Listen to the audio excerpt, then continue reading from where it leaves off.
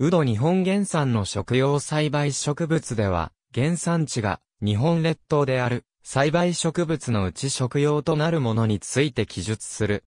山芋畑セリの花吹きの倒産に自生している、三葉食用の苗が採取、切断して販売されるわさびの地下系ウドは、ウコギカタラの貴族の多年生植物で、香りが強く、山菜として好まれる。英語では、ジャパニーズスパイクナードと称されることもある。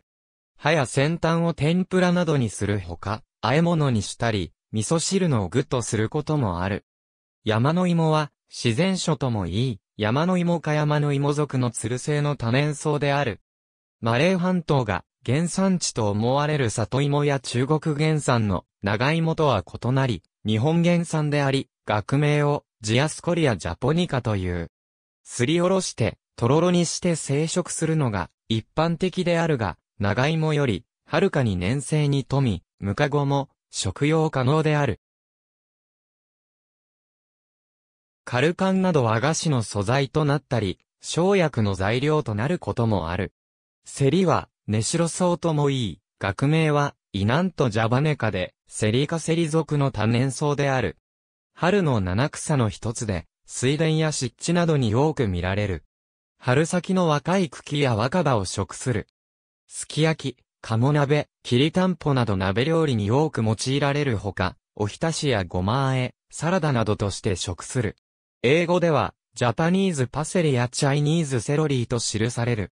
吹きは、キクカフキ属の多年草で、学名は、ペタシーツジャポニカス。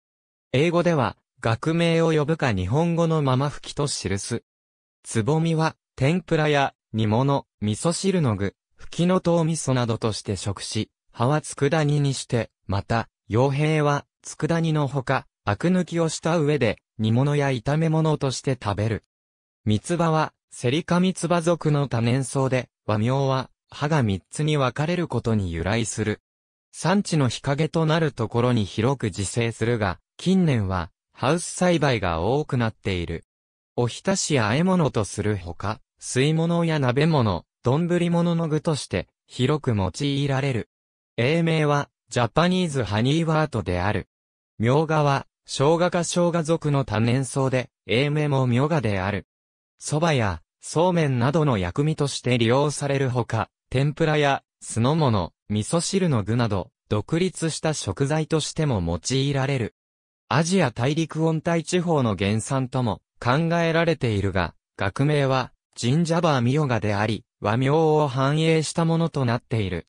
秋田県や群馬県では、露地栽培が見られる。わさびは、油中わさび属の多年草で、英名も、わさびである。わさび属の学名は、わさびや、種としてのわさびの学名は、わさびやジャポニカマツムとなる。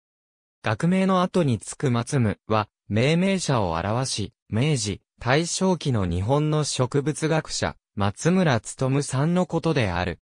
地下茎をすりおろしたものは、日本料理の薬味として寿司、刺身、茶漬け、蕎麦など広範囲に使用される。主要な産地は、静岡県、長野県、東京都、島根県、山梨県、岩手県である。現在、栽培される野菜のほとんどは、外国から入ってきたものであり、日本原産とされる野菜は20種類ほどしか確認されていない。蒸気のほか、ごぼうあざみ、浜暴風、タデ、ひし、つるな、純菜、朝月、山椒、ゆり、黒具合、肝臓、クコ、オニバス、また、マッシュルーム以外のキノコ類などがあり、今日、野菜としては利用されていないものもある。果物としては、牡蠣が日本を含む東アジア固有種であり、学名もジオスペロス牡蠣三部、英語やフランス語でも牡蠣と表記される。品種数は多く、1000を超えるとも言われているが、大まかには、渋柿と甘柿とに分かれる。学名の命名者の欄にある三部は、鎖国政策を採用していた江戸時代の長崎を訪れたスウェーデン出身の植物学者、カールツンベルクを表す略記である。ありがとうございます。